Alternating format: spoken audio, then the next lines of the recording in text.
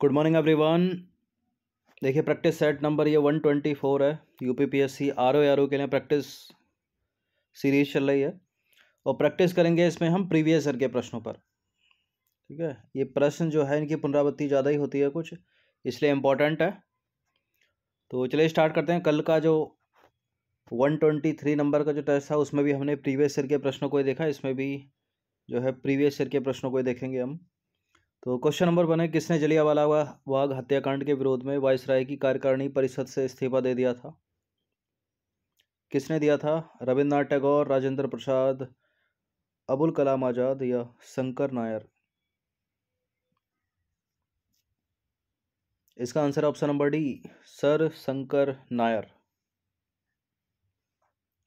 देखिए, नंबर है, इस पर कॉल या व्हाट्सअप करके आप आर ओ आर ओ की फुल टेस्ट सीरीज़ प्राप्त कर सकते हो।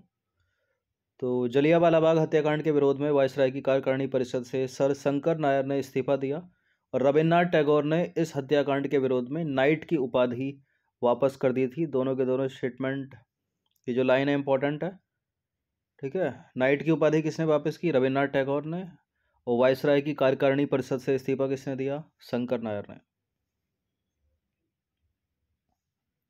क्वेश्चन नंबर टू पर आ जाइए। जलियावाला बाग हत्याकांड के विरोध में हंटर कमीशन गठित किया गया था। आपको बताना है कि इस कमीशन में कितने भारतीय सदस्य थे? कितने भारतीय सदस्य पूछ रहा है? अगर कुल सदस्य पूछता तो आठ सदस्य थे, ठीक है? पाँच अंग्रेज़ थे और तीन भारतीय थे। तो ए है इसका आंसर। देखिए, इस हत्याकांड की जाँच हेतु हंटर कमीशन गठित किया गया और इस आठ सदस्यीय आयोग में पाँच अंग्रेज़ थे, तीन भारतीय सदस्य थे। भारतीय सदस्यों में कौन कौन थे? सर चिमन लाल सितलवाड़, साहबजादा सुल्तान अहमद और जगत नारायण। इन तीनों का नाम याद रखना इंपॉर्टेंट है। स्टेटमेंट बनाकर कर सकता है। क्वेश्चन नंबर थ्री पर आ जाइए। पंजाब के लेफ्टिनेंट गवर्नर जनरल डायर की किसने मार्च 1940 में लंदन में गोली मारकर हत्या कर दी थी? उधम सिंह ने की थी। ठीक है, ए है इसका आंसर तो पंजाब के लेफ्टिनेंट गवर्नर जनरल डायर की जो है उधम सिंह ने मार्च 1940 में लंदन में गोली मारकर हत्या कर दी थी। ठीक है, माइकल और डायर को मारा था। क्वेश्चन नंबर फोर पर आ जाइए। असहयोग आंदोलन स्थापित हो जाने के बाद निम्नलिखित में से कौन सा आंदोलन अप्रासंगिक हो गया? कौन सा हुआ था? खिलाफत आंदोलन। ऑप्शन नंबर सी है इसका आंसर। तो असहयोग आंदोलन स्थापित, स्थगित हो जाने के बाद खिलाफत आंदोलन भी जो है अप्रासंगिक हो गया। और जनता, तुर्की की जनता जो है मुस्तफ़ा कमाल पाशा के नेतृत्व में उठ खड़ी हुई और उसने नवंबर 1922 में सुल्तान को सत्ता से वंचित कर दिया। कमाल पाशा ने तुर्की के आधुनिकीकरण के लिए अनेक कदम उठाए तथा खलीफा का पद समाप्त कर दिया। कमाल पाशा ने 1924 में खिलाफत को समाप्त कर दिया। क्वेश्चन नंबर फाइव पर आ जाइए। निम्नलिखित कथनों पर विचार करेंगे। दो कथन है यहाँ पर। असहयोग आंदोलन की राष्ट्रीय आंदोलन में महत्वपूर्ण भूमिका रही। इसने राष्ट्रीय आंदोलन को जन आंदोलन का रूप प्रदान किया। बिल्कुल, ये दोनों के दोनों स्टेटमेंट करेक्ट हैं। सी है इसका आंसर देखिए, असहयोग आंदोलन की राष्ट्रीय आंदोलन में महत्वपूर्ण भूमिका रही। इसने राष्ट्रीय आंदोलन को जन आंदोलन का रूप प्रदान किया। प्रोफेसर कोपलैंड के अनुसार गांधी जी ने वह कार्य किया जो तिलक न कर सके। उन्होंने राष्ट्रीय आंदोलन को एक क्रांतिकारी आंदोलन के रूप में परिवर्तित कर दिया।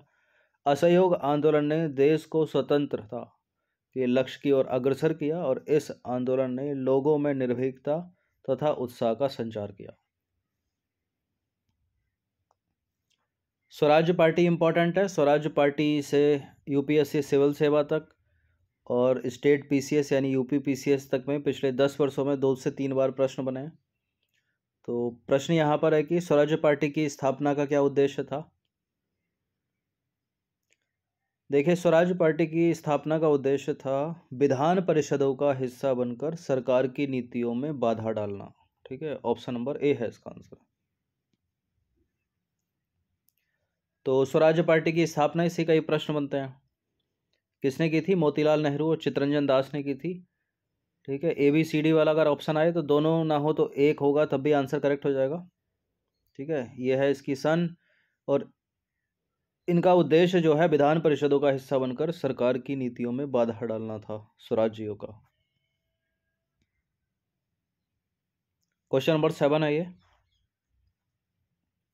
क्वेश्चन नंबर सेवन है 1923 में स्वराज पार्टी ने केंद्रीय लेजिस्लेटिव असेंबली का चुनाव लड़ा और 40 से अधिक सीटें जीती। इतनी सीटें जीतने के बावजूद उन्होंने अंग्रेज़ों को, मनमाने विधेयकों को पारित करने से कई बार रोका। उनके, ठीक है, उनके मनमाने विधेयकों को पारित करने से कई बार रोका। नहीं रोक पाए वो, इतनी सीटें जीतने के बाद भी। केवल पहला वाला ही करेक्ट है यहाँ पर। ठीक है? ए है इसका आंसर देखिए 1923 में स्वराज पार्टी ने केंद्रीय लेजिस्लेटिव असेंबली का चुनाव लड़ा, जिसमें 40 से अधिक सीटें जीती। इतनी सीटें जीतने के बावजूद उनकी संख्या कभी उतनी नहीं रही कि वो अंग्रेज़ों को ऐसा विधेयक पारित करने से रोक सकें जिसे अंग्रेज़ आंतरिक व्यवस्था बनाए रखने के लिए ज़रूरी समझते थे। ठीक है तो दूसरा वाला स्टेटमेंट हो गया गलत यहाँ पर।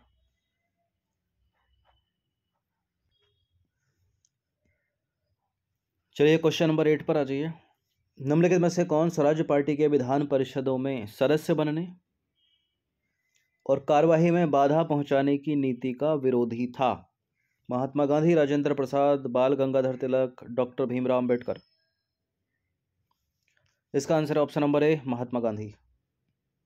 देखिए, महात्मा गांधी स्वराज्य पार्टी की विधान परिषदों के सदस्य बनने, वे कार्यवाही में बाधा पहुँचाने की नीति के विरोधी थे और सी आर दास जो है, स्वराज्य पार्टी के अध्यक्ष थे, जबकि मोतीलाल नेहरू पार्टी के महामंत्रियों में से एक थे। इन दोनों का नाम याद रखिएगा। क्वेश्चन नंबर नाइन पर आ जाइए निम्नलिखित में से कौन अगस्त 1925 में प्रथम ऐसे भारतीय थे, जो केंद्रीय व्यवस्थापिका सभा के अध्यक्ष चुने गए? कई बार प्रश्न ये पूछा गया एग्ज़ाम में। और इसका उत्तर है विठल भाई पटेल। तो बिट्टल भाई पटेल जो है अगस्त 1925 में प्रथम ऐसे भारतीय थे जो केंद्रीय व्यवस्थापिका के अध्यक्ष चुने गए। क्वेश्चन नंबर दस पर आ जाइए। वाईकॉम सत्याग्रह किसके लिए था? वाईकॉम सत्याग्रह किसके लिए था? वाईकॉम सत्याग्रह था मंदिर प्रवेश के लिए। ऑप्शन नंबर ए है इसका आंसर। देखिए, वाइक्रोम सत्याग्रह जो है, मंदिर प्रवेश का पहला आंदोलन था। यह आंदोलन निम्न जातीय एजवाओं और अछूतों द्वारा गांधीवादी तरीके से त्रावणकोर के एक मंदिर के निकट की सड़कों के उपयोग के बारे में अधिकारों को मनवाने का प्रयास था।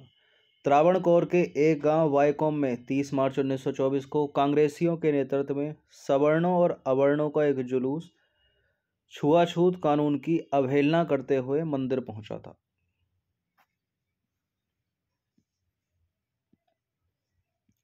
क्वेश्चन नंबर इलेवन पर आ जाइए। सतनामी विद्रोह के विषय में प्रश्न। है निम्नलिखित कथनों पर विचार करेंगे। पहला स्टेटमेंट है इसमें, सोलह में उन्होंने उन्होंने किन्होंने? सतनामियों ने शक्तिशाली मुगल साम्राज्य के खिलाफ विद्रोह किया।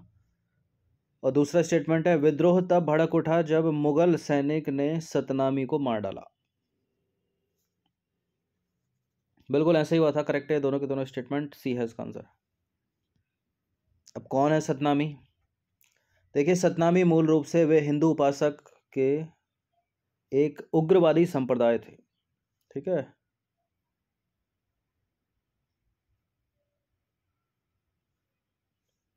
हरियाणा के नारनौल में सोलह में बीरभान नामक एक संत द्वारा स्थापित सतनामी।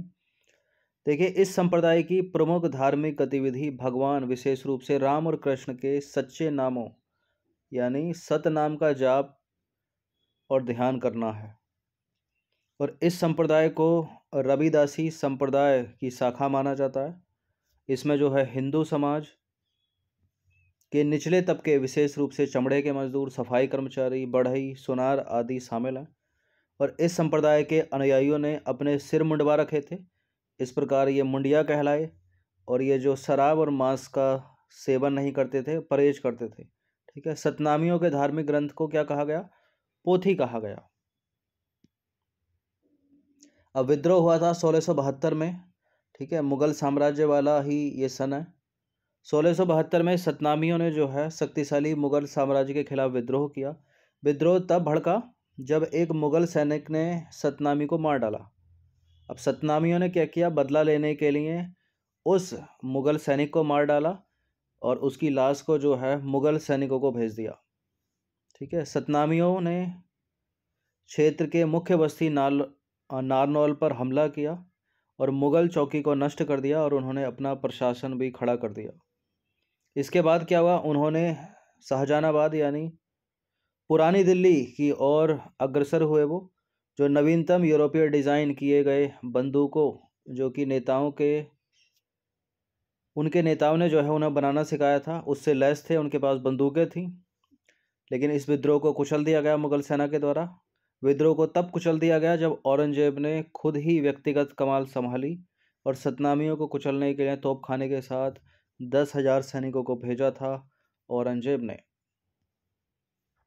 देखिए, भारतीय इतिहास के बहुत सारे विद्रोह या तो अंग्रेज़ों के द्वारा कुचल दिए गए, ठीक है या दूसरे जो लोग भारत पर शासन कर रहे थे, उनके द्वारा कुचल दिए गए। क्वेश्चन नंबर बारह पर आ जाइए निम्नलिखित में से। किसका यह विश्वास था कि जाति व्यवस्था के उन्मूलन के अलावा कुछ भी बहिष्कृतों को मुक्ति नहीं दिला सकता? Mahatma Gandhi, Jyotiba Phule, Bhimrao Ambedkar A R Desai. इसका answer option number D, B R Ambedkar देखिए, अपनी पुस्तक, उनकी एक पुस्तक है एनिलेशन एनीहिलेशन ऑफ़ कास्ट ये नाम याद रखिएगा, डॉक्टर भीमराव अंबेडकर की पुस्तक है। इसमें कहा है उन्होंने, संवैधानिक नैतिकता एक प्राकृतिक भावना नहीं है। इसको जगाना होता है। हमें यह महसूस करना चाहिए कि हमारे लोगों ने अभी तक इसे नहीं सीखा है। भारत में लोकतंत्र, भारत भूमि पर एकमात्र शीश व्रणोपचार है। जो अनिवार्य रूप से आलोकतांत्रिक है। क्वेश्चन नंबर थर्टीन पर आ जाइए। भारत में पंचवर्षीय योजनाओं के संबंध में निम्नलिखित युग्मों पर विचार कीजिए। पंचवर्षीय योजनाओं का कॉन्सेप्ट हट चुका है, लेकिन पीसीएस के एग्ज़ाम में या दूसरे कॉम्पिटिटिव एग्ज़ाम में आज भी सवाल बनते हैं। इसको हिस्ट्री मानकर।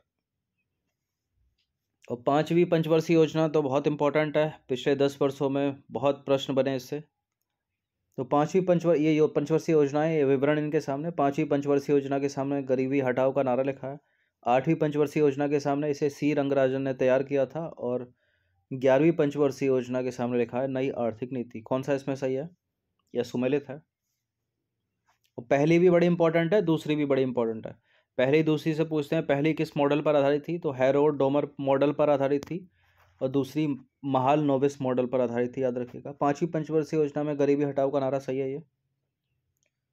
सी. रंगराजन ने तैयार किया था ग्यारहवीं पंचवर्षीय योजना को और आर्थिक नीति जो है वो आठवीं पंचवर्षीय योजना में थी।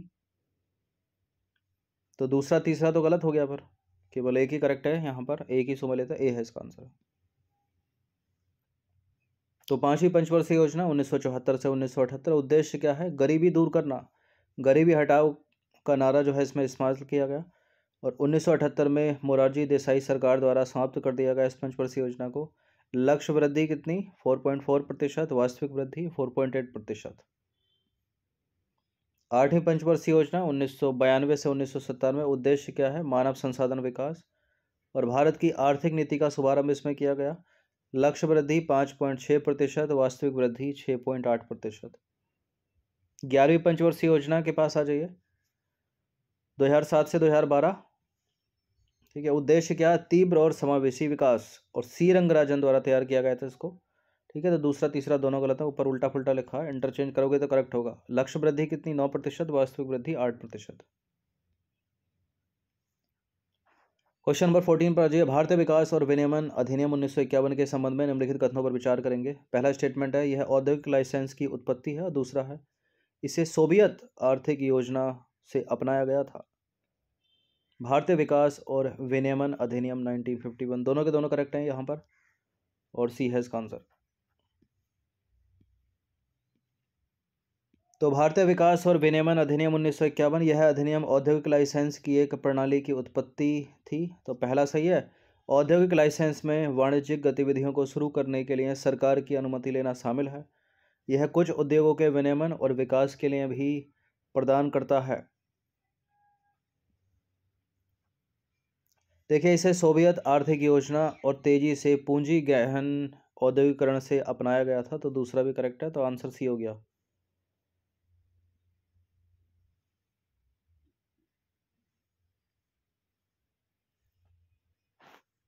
लाभ छूट गया यहाँ पर, ठीक है? लाभ प्रदान करता है।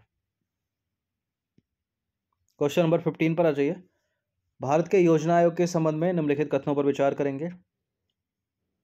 इसकी स्थापना 15 मार्च 1950 को हुई थी और इसके अध्यक्ष थे जवाहरलाल नेहरू और यह एक कार्यकारी निकाय था, यानी एग्जीक्यूटिव बॉडी सलाहकारी निकाय था। ठीक है, पहला वाला करेक्ट है। तो योजना आयोग की स्थापना 15 मार्च 1950 को हुई थी, जिसके अध्यक्ष थे जवाहरलाल नेहरू तो पहला वाला स्टेटमेंट करेक्ट हो गया। दूसरा इनकरेक्ट है, क्योंकि एक सलाहकारी निकाय था था मतलब हट गया है। दो हज़ार पंद्रह से जो है इसमें योजना आयोग के स्थान पर नीति आयोग आ गया जिसे देश के सभी संसाधनों का आकलन करने और भारत के विकास के लिए दीर्घकालिक रणनीति तैयार करने की ज़िम्मेदारी सौंपी गई थी और इस आर्थिक नियोजन की सोबी इसे आर्थिक नियोजन की सोबियत शैली से अपनाया गया था। तो दूसरा वाला इनकरेक्ट है, पहला वाला करेक्ट है, कार्यकारी नहीं है, सलाहकारी है। तो पंद्रह प्रश्न ऐड थे, इनकी प्रैक्टिस आप एक से दो बार कर सकते हो, इन सभी टेस्ट का पीडीएफ प्राप्त कर सकते हो, वो मिलेगा आपको पेड टेलीग्राम ग्रुप में। ये नंबर इस पर कॉल या व्हाट्सअप करके, बाकी सब्सक्राइब रखिएगा सिविल सर्विस स्टडी चैनल को लेटेस्ट टेस्ट का नोटिफिकेशन पाने के लिए। बेल आइकन को प्रेस रखिए। एक लाइक आप कर सकते हो, अगर टेस्ट पसंद आता है तो जो भी कॉम्पिटेटिव एग्ज़ाम की तैयारी कर रहे हैं, उनमें शेयर कर सकते हो। हर दिन प्रैक्टिस करते रहिएगा।